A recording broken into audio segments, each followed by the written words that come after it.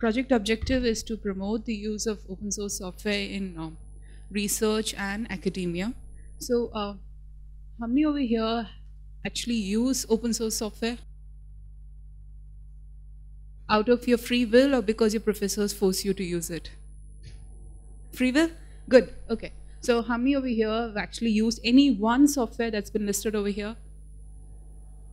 Mostly only Python, any Scilab? Anyone's ever heard of Osdag or eSIM?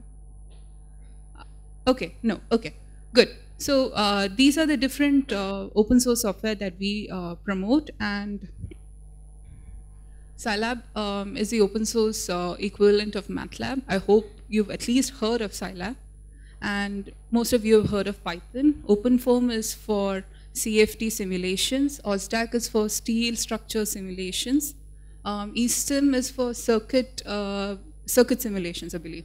And then DWSIM is for chemical process simulations. OR tools is mostly used for optimization problems. You, there are a set of tools that you can use for optimizing problems. And last is XCOS based Sandhi, which is again based on um, Scilab. So um, in order to promote the various um, software that you just saw, we have different activities like textbook companion project and a couple of other activities like live migration and all. Has anyone ever taken part of uh, taken part in textbook companion over here? That is probably the most popular project that we have within the FOSSEE group. No one's ever heard of textbook companion? Okay, I encourage you to uh, at least go and look at Textbook Companion. It's um, something that's really popular and I hope you will be interested in participating in, in it also. And apart from this, we also have conferences and workshops throughout the year in various uh, open source software that we promote. Okay, so the first thing that I'll be talking about is the Scilab, um, Scilab toolboxes. How many over here have used Scilab? Oh my God, that's really low. That's really bad. Okay, so Scilab is the open source equivalent of MATLAB. Have you used MATLAB over here? All of you? Yeah? Okay. This is the first thing I want to talk about, um, the various toolboxes that we are developing to match the toolboxes that are available in MATLAB. So you may ask why use Scilab? So first thing is it is free and open source. You need not go for something that is as expensive as MATLAB. I'm sure if you have a MATLAB on your desktop or on your system, it's most probably a pirated version. You will not be able to afford an, uh, um, an original license. So rather than going for something pirated, why don't you try something that is open and free? Uh, free? So that is Scilab. And you may ask, is it uh, easy to use? If you're comfortable using MATLAB, then you will be quite um, comfortable using Scilab also. And then there is an uh, Simulink equivalent in Scilab. That's it's called XCOS, and our objective of this internship is to develop toolboxes, develop various toolboxes that will match the requirements for most UG um, students. So most of you would have used MATLAB for maybe image processing, signal processing. Is there anything else you used uh, MATLAB for? sorry, computation analysis, that would be mostly um, core functions. I don't think you used any toolbox as such.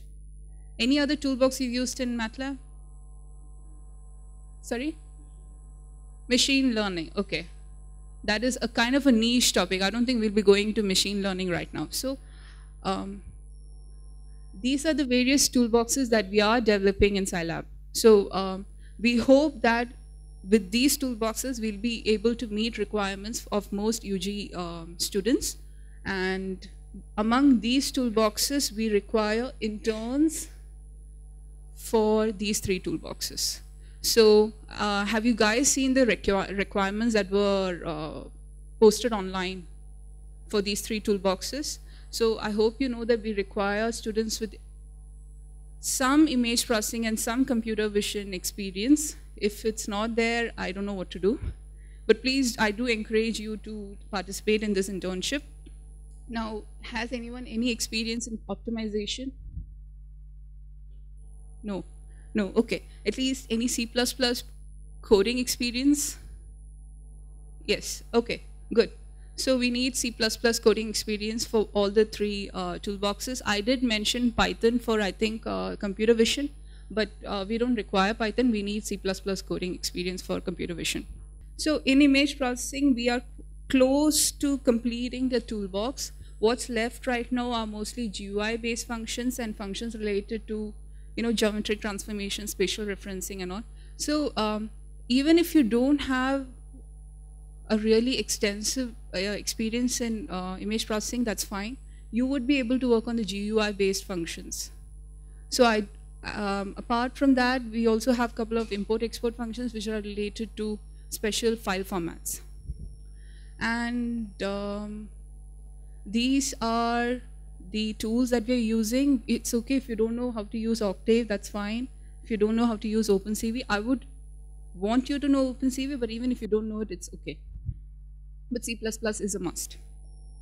Now, in computer vision, anyone with experience in computer vision here? Only one. We have different categories within computer vision.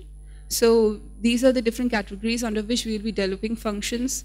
Um, again, C++ is a must. Hopefully you would have some experience in OpenCV, but it, even if you don't, I would want interns to at least have an interest in learning new things. And after this, we have optimization. Um, again, it might look really difficult right now, but it isn't because the um, the libraries that you'll be calling have already been written. So you don't have to actually write anything new, but you will need to know how to work with uh, C++ and pointers and how to call different libraries using Scilab API. So I do encourage you to uh, participate in um, optimization because you will get to know a lot about the um, underlying mathematical principles for all these optimization problems. Okay, all right, I just have a very short demo of what we have uh, developed in image processing just to entice you guys to um, join the toolbox internship. So we have two functions here. Have you at least heard of imread? Yeah, image processing? Yes, okay. So we have uh, something similar we have developed, we're calling it raw underscore imread. We can always change the name, that's not a problem. So we are reading an image called tape.png. And first thing is imshow. So I'll just execute that and I'll show you the image that has been read. So this is the image that has been read. Okay. So you, if you can see this, it is actually a tape and you can see something circular.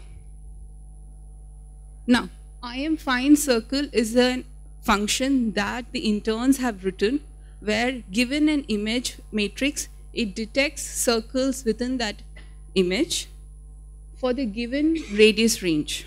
All right. So it has, um, I think it has already calculated the center and the radius.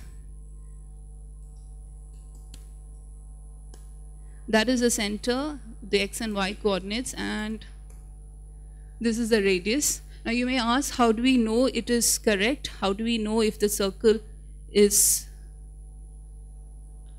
the circle that has been detected is correct? Let's do one thing. Let's draw a circle with the same center and the radius. And if you see, there is now a circle around the uh, tape, which shows it has detected a proper circle within that image, and it has drawn a circle with that same center and the radius. All right? So these are the functions that have been developed across the past one year by different interns, and we would want your help in developing further more functions of such sort. I want to end with this note. One of the interns who worked with us last year during the summer, she's interning right now at Microsoft. Another intern who, I think she was also here last summer, she's now placed in BPCL. So if you choose this project and you work really, really hard, you'll probably be able to use this internship as a stepping stone for something bigger, all right?